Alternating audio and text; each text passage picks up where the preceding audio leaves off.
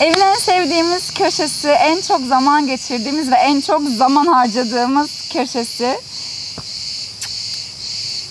Sevgili komşumuz.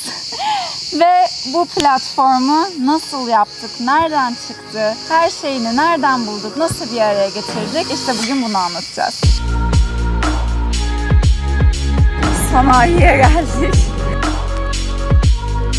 Aloe veralar var. Bakın.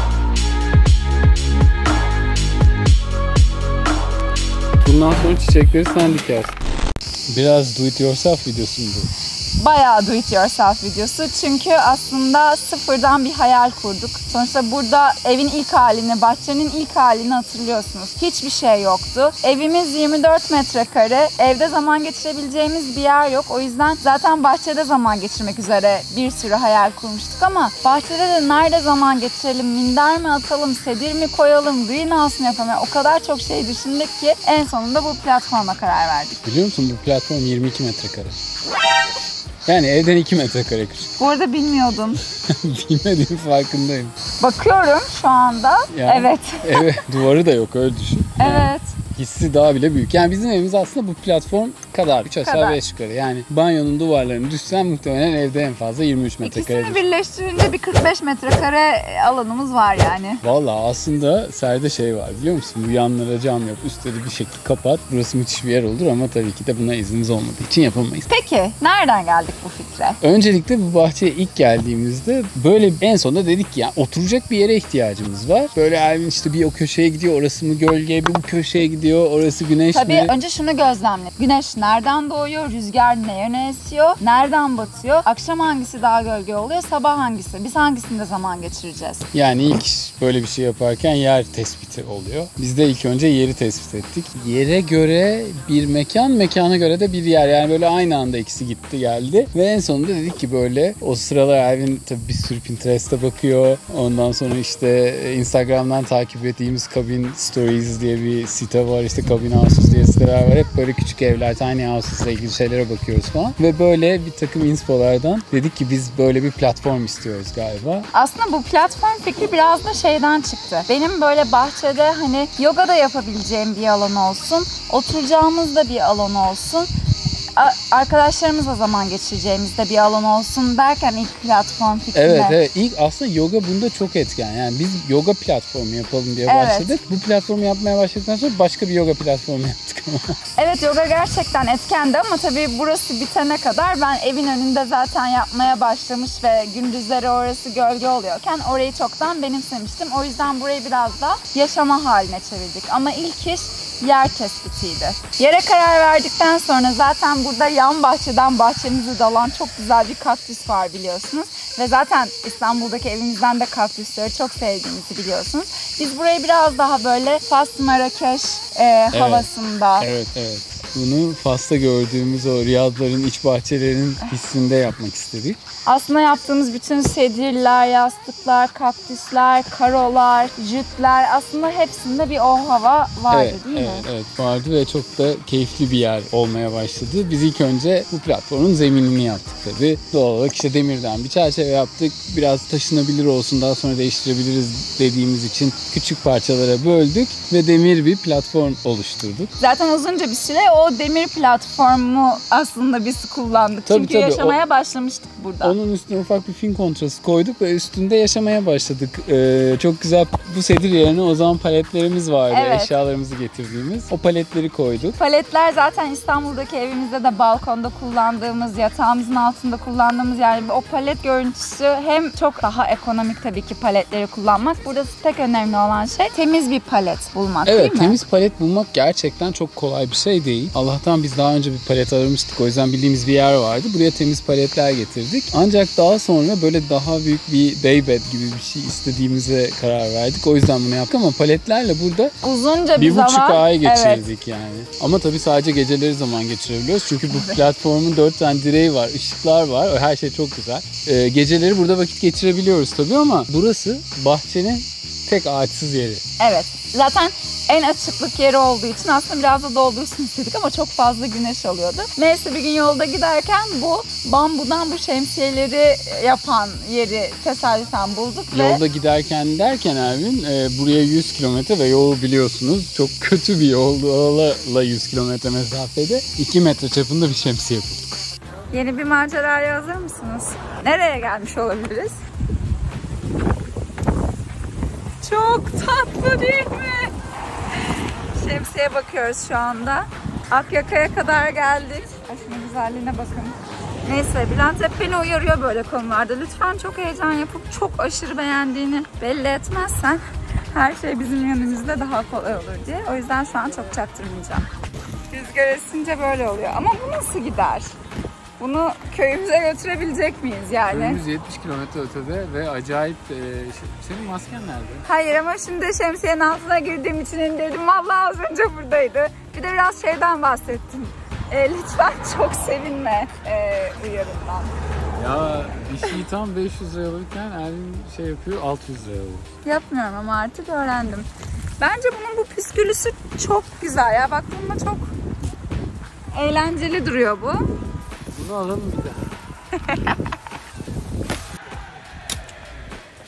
Onu da götürelim sözüm belki bir şey olur. Evet çok iyi olmuş. Bunları evin girişine koyacağız değil mi? Sevgilim gerçekten çok yakıştı. Uygun koydum. Böyle gidebilir miymişiz? Ben de bizim gideriz de amca durdurursa bak. Ne yapıyorsun be? Uçacağım? Çok tatlı. Şimdi tepesine de şu gelecek. Şahtı şahbaz olacak yani. Bu arada bu şemsiye ne badireler atlattı. Yollarda arabanın arkasına tam sığmadı mı sonra bağladık sığdı mı buraya gelirken uçmaya mı kalktı derken şemsiye geldi. Artık şemsiyemiz de var. Kurduğumuz bu ekolojik alanda sabah akşam istediğimiz gibi vakit geçirebiliyoruz. Kulağa çok güzel geliyor ama bahçede bu kadar çok zaman geçirmenin zorlukları da var. Çünkü bahçede çok fazla sinek böcek oluyor ve uzunca bir süre kabarıyoruz, şişiyoruz, ne yapacağımızı bulamıyoruz. Ya evet inanılmaz kaşınıyor tabii. Yani böyle akşam bir oturuyorsun böyle bileğine kadar bir şey giymişsin. Çünkü burada o, o zamanlar daha serindi. Ama böyle bilekten sabah bir kalkıyorum her yerim kaşınıyor. Evet, her yerimizi böcek sinek ısırıyor, kaşınıyoruz derken fenirolle tanıştık. Bu aslında serinletici bir jel. Başlığı roll-on şeklinde. O yüzden mesela şu anda şuramı kızartmıştı gördüğünüz gibi.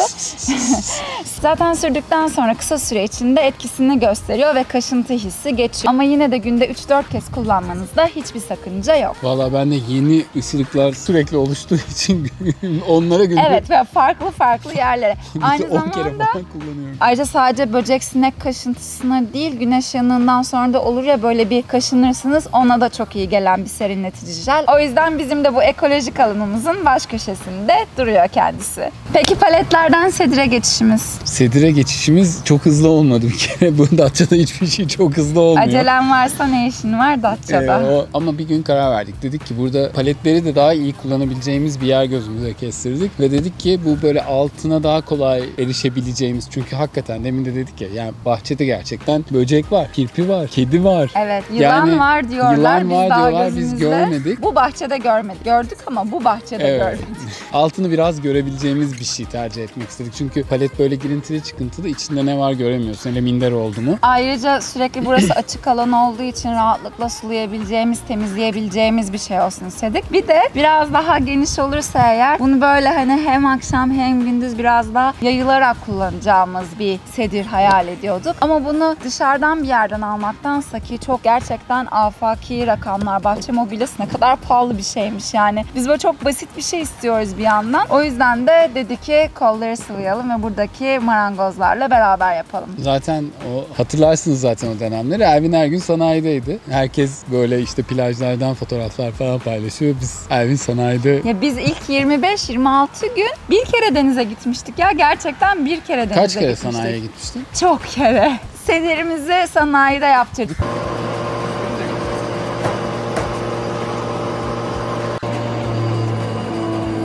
Mis gibi kokuyor burası. Çok güzel. Şimdi bu ne alaka diye düşünüyor olabilirsiniz. Üç tane üst üste ayak. Bu yaslanmıyor. Ondan 40 santim daha dar var. Şöyle o tarafına dayanacak. Bu tarafı boş kalacak. Yani oraya Ha şey kısmı. Bir şey koyma kısmı. Yani hani bana soruyordu çocuk tam anlamamıştı. Burası boş olacak yani. Görüşürüz. Teşekkürler. Bay bay. Bir talaşımız eksikti. O da şu Ama an. bunu böyle kötü toprak görüntüsü olan bazı yerlere şey yapacağım. Koyacağım çiçeklerin dibine çok güzel gözüküyor. Faydalı bir de. Mesela hayatta aklıma gelmez ya da o sedir orada yatarken nasıl olacağını siz de anlamadıysanız yalnız değilsiniz. Ben de şu an canlandıramıyorum. Birazdan eve götürüp yerler. Yok buraya bir kez daha geleceğiz. Arabaya yükleyeceğiz. Evet bu arada yol nasıl? Sonra eve gidip yerleştireceğiz. Biz yine nereye geldik? Acayip güzel.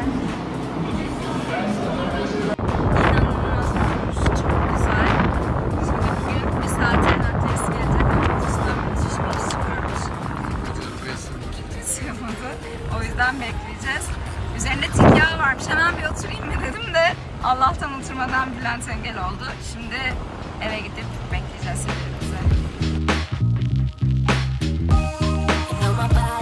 know. Şu an dışarısı 40 derece. Ay,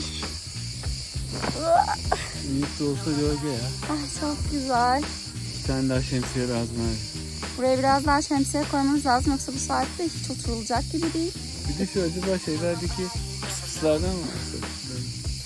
Bunu böyle bu kadar uzun yapmamızın sebebi daybed deniyormuş bunlara. Yani gündüz yatağı gibi düşünebilirsiniz. Aslında böyle hem boylamasına hem enlemesine ayaklarını uzatıp birden çok kişi oturabileceği. Kesin arkadaşlarımız bunu night bed yapar. Night bed de olur gelir bu. burada kalır. Kesin olur. Ya da mesela burada alan varken yine de gidip böyle odanıza dip dibe yapışıp da yapabilirsiniz. Sıcak sıcak çok. Üzerine minderi de yine Datça'da Datça Tente. Yine bizim Mehmet'in sayesinde bulduğumuz başka bir Mehmet'le beraber minderimizi de yaptırdık ve aslında istediğimiz bu basitlikte bir şeydi ve burada halledince birazcık daha uzun sürdü. Belki bir yerden satın alsaydık daha kısa sürede ulaşmış olabilirdik O da ama tam emin değilim yani Datça'da yoktu işte kargo margo. Onlar da Evet çok yani uzun aynen ve sonunda buraya yerleştirdiğimizde gördüğüm görüntü size şöyle söyleyeyim sanki daha önce gördüğüm bildiğim bir görüntü gibiydi ama bildiğim bir şey değildi ve her gün her sabah baktığımda böyle beni inanılmaz mutlu eden bir görüntü. Ondan sonra işte bu yastıkları minderleri ekledik ve gerçekten akşamleyin Bülent'le buraya geliyoruz. Burada uyumadan önce mutlaka vakit geçiriyoruz. Yıldızları izliyoruz ve öyle uyuyoruz. Ya da uyanınca kahvelerimizi alıp hala sabah güneşindeyken burada oturabiliyoruz. Ben burada bir şey eklemek istiyorum sana ya. Ervin'in için böyle bir durum ama ben geceleri bazen burada uyuyorum. Bülent bayağı evet uykuya geçmeden önce burada birazcık kucağımda uyuyor böyle esintili. Bir de burası çok güzel esiyor. Mesela hiçbir yer esmiyor. Biz bahçeye geliyoruz püfür püfür esiyor. Ya görüyor musunuz bilmiyorum ama bugün 40 derece gerçekten yani şu an esiyor yani. Evet ve şu anda bile gerçekten Esiyor. esiyor. Ve gündüz yani. Aynen. Ve e, biz bu videoyu çekene kadar bile bu kaktüsler ne kadar büyüdü. Ektiğimiz günü hatırlıyorsunuz. Çevirin aşağı doğru. Evet çıkartın şimdi. Şöyle, şöyle yapsam. Hiç fark etmez. Vay be. Görüyor musun abi? Ne dikiyorsunuz şu anda? Ben ada çayı dikiyorum. Adaçayı arkadaki lavanta mı? Yok o da adaçayı. Bu lavanta. Ha o lavanta. O da çayı. Birazdan kaktüs de sen dikeceksin diye duydum. Kaktüsler Bülent'in en sevdiği. İki gün önce diyordu ki şu dik dik Meksika'daki kaktüsleri çok beğeniyorum. Ve bugün gerçekten bunları gördük. Bahçemizde zaten şu yan bahçeden giren kaktüsler var. Onlar artık adeta bizim bahçemizdeler. O yüzden bunların önüne böyle dik dik koyacağız. Platformun daha biraz işi var ama burası gerçekten çok güzel olacak. Burada bebek aloe veralar var. Bakın bunlarla neler yaparız neler. Burada bizim burada çok sevdiğimiz artık ahbabımız olan Sade'den arkadaşlarımız bunu bu şeyi bize hediye ettiler. Beraber yapalım mı? Bir tanesini sen yaparken gösterirsen ben de diğerini alırım mesela. Ben çıkartamaz mıyım? Çıkartabilirsin. Tak tak tak tak tak dedi çıktı zaten abi. Ama Ervin'in tak takı aynı olmuyor. Bir de öbür taraftan. Vay. Şimdi içine toprak dur bekle. Bırakma. Tut. Evet evet sen başarılısın ya. Bundan sonra çiçekleri sen dikersin. Ya Mehmet var ya bahçede deli bir değişiklik olacak bunlarla. Sen alıyorsun ama biraz daha toprağa ihtiyacımız varmış. Evet Elvin en sevdiği şeyi yapacak.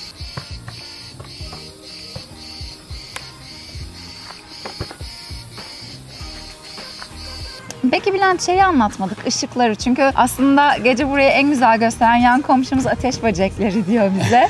çünkü yandığında çok güzel gözüküyor. Aslında bu ışıkları ilk Elvin tabii biz evlenmeden önce düğünümüz için çok beğenmişti. O zamanlar çok moda olmuştu İtalyan ışıkları. Hatta biz düğünü yaptık. San Francisco'ya gittik. Algıda seçicilik midir nedir? Her gittiğimiz işte kafe olsun, akşam yemek yediğimiz olsun, bir arkadaşımızın bahçesi olsun. Her yerde böyle İtalyan ışıkları vardı. Biz biraz galiba ta o zamandan beri böyle bir yerimiz olsa Evet. İtalyan ışıkları yapmak istiyorduk. Karantinada hatırlarsınız şey diyordum hani evle ilgili hiçbir isteğim yok. Küçücük bir ev olsun ama güzel bir bahçemiz olsun ve o güzel bahçemizde hep böyle hayalimde canlanan böyle gece yanan sönen bu güzel ışıklardı. Evet onları da burada bir usta ile birlikte yaptık. Çünkü bu metrajda hazır satılan bulamadık. Ve özellikle bence bu bunlarla ilgili yaptığın en güzel şey bunun ayarlanabilir olması. Evet bunlar dimmerlı. O yüzden istediğimiz kadar açıp kapatabiliyoruz. Aralarında giden direkler de gerçek ahşap e, ve eski tip elektrik direği aslında. Onları da diktik, üstlerini de düzelttik ve böyle güzel ışıklı bir bahçemiz oldu. Ve platformun en son tamamlanan aslında ilk belli olan şeylerinden bir tanesi herhalde zemini oldu. Evet ilk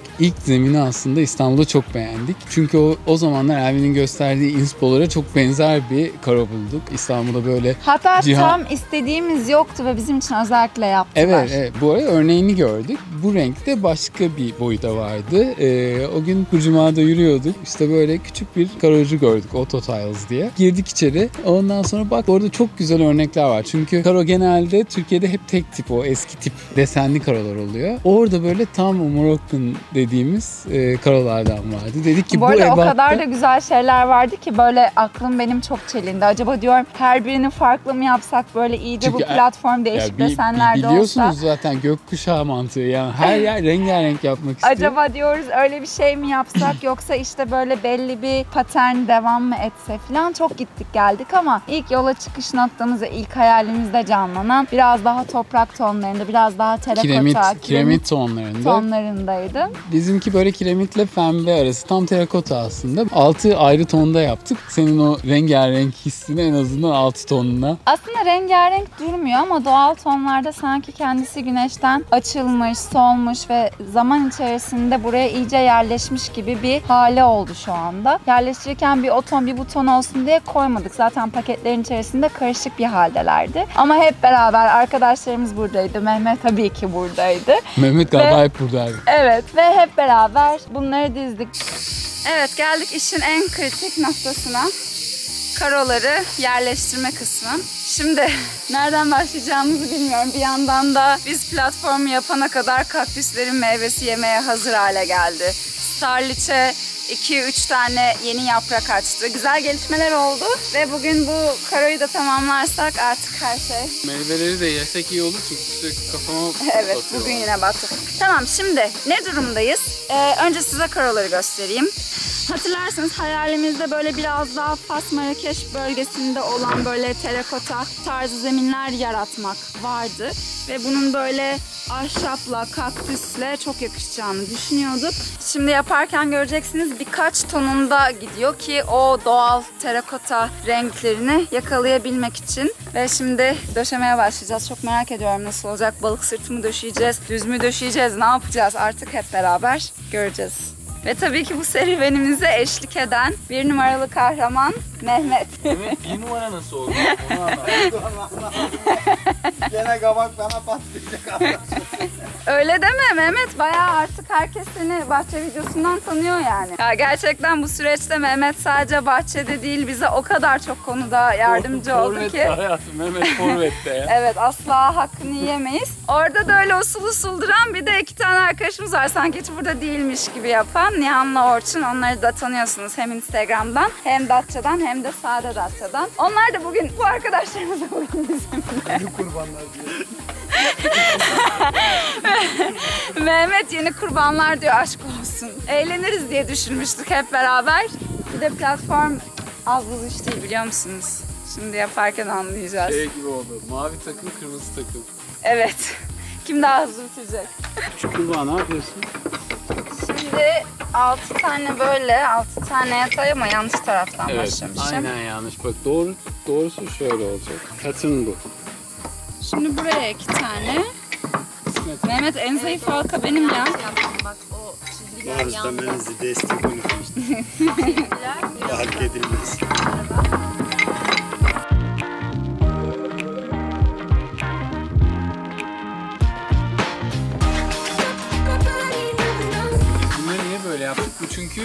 Kalıcı değil.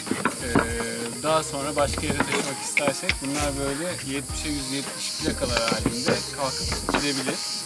Ee, bunu yalnız karoları, e, e, beton karoları belki yapıştırmamız gerekebilir. Buradaki vibrasyonuna bağlı. Kırılmazlarsa da yapıştırmadan kalacak. Ama kırılırlarsa bir şeylerden, yani birkaç tanesi kırılırsa hemen kaldırıp bir şeyle yapıştırırız.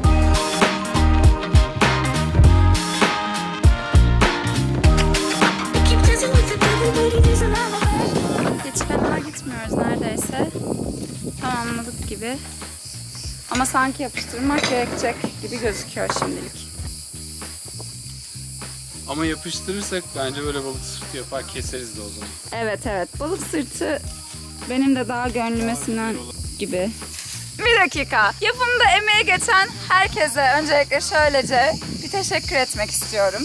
Bunun üzerine bir tane balıkçı ağ aldık biz. Ee, böyle kamuflajlı kullanılmış falan. Ama sini de kaldı. Sınırlar açılmadığı için alamıyoruz. E, Mehmet sen ona bir çözüm bulursun diye düşünüyorum. Akşam yüzelim dedim. Şimdi işim var. Bu arada e, bu çok pembe olur diye bir tereddütümüz vardı. Hatta Nihan da ilk gördüğünde acaba çok mu pembe diye düşünmüştü.